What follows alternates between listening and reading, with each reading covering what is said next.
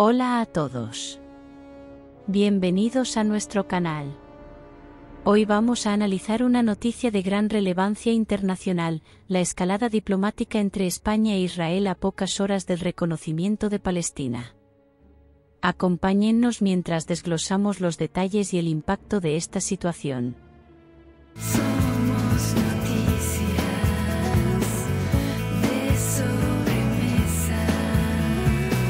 Este lunes, los 27 ministros de Asuntos Exteriores de la Unión Europea se reúnen en Bruselas con sus homólogos de cinco países árabes para preparar una conferencia de paz internacional, con el objetivo de promover la solución de los dos estados. En medio de estas negociaciones, Israel ha intensificado su ofensiva diplomática para disuadir a países como España, que están a punto de reconocer oficialmente al Estado palestino. En los últimos días, Israel ha lanzado una serie de vídeos propagandísticos, incluyendo uno que mezcla imágenes de bailarinas de flamenco con atentados del grupo islamista Hamas.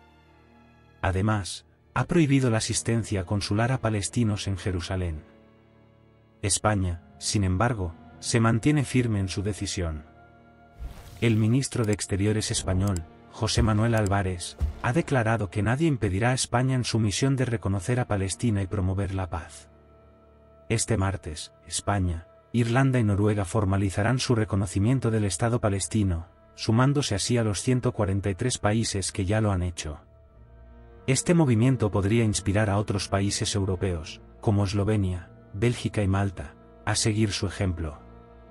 En una rueda de prensa conjunta en Bruselas, el primer ministro palestino, Mohamed Mustafa, expresó su esperanza de que más países europeos reconozcan a Palestina, subrayando que tanto Palestina como Israel tienen derecho a existir en paz y seguridad. Álvarez, por su parte, invitó a Mustafa a Madrid como representante legítimo del Estado palestino, celebrando este reconocimiento como un día especial para Palestina, la justicia y la humanidad. Además de la cuestión del reconocimiento, la reunión de Bruselas aborda la crisis humanitaria en Gaza y Cisjordania. Josep Borrell, jefe de la diplomacia europea, destacó la urgencia de frenar las operaciones militares israelíes en Rafah y permitir el paso de ayuda humanitaria.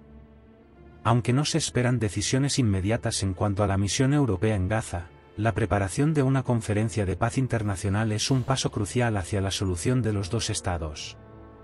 La situación entre España e Israel ha alcanzado nuevos niveles con la publicación de un vídeo por parte del ministro israelí Israel Katz, que satiriza al presidente español Pedro Sánchez y asocia a España con Hamas.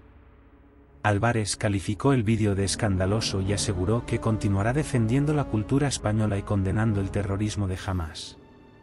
Cabe destacar que esta reunión de los ministros de Exteriores es la última antes de las elecciones europeas, lo que añade una capa de presión política a las decisiones tomadas.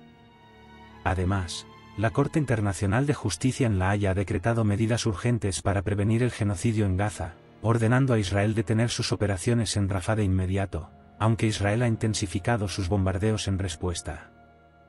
Josep Borrell también mencionó que, aunque no se esperan movimientos inmediatos respecto al reconocimiento de Palestina, el envío de una misión europea a Gaza para supervisar el paso fronterizo es una posibilidad en consideración. Finalmente, es importante recordar que España ha condenado firmemente los ataques terroristas de Hamas y ha sido constante en su exigencia de un alto el fuego y la entrada de ayuda humanitaria en Gaza, demostrando su compromiso con una solución pacífica. La situación entre España e Israel refleja las complejidades y tensiones del conflicto palestino-israelí y las diversas posturas dentro de la comunidad internacional. Seguiremos atentos a los desarrollos de esta historia y su impacto en la política global. No olviden suscribirse a nuestro canal y activar las notificaciones para más análisis de noticias internacionales. Gracias por acompañarnos y hasta la próxima.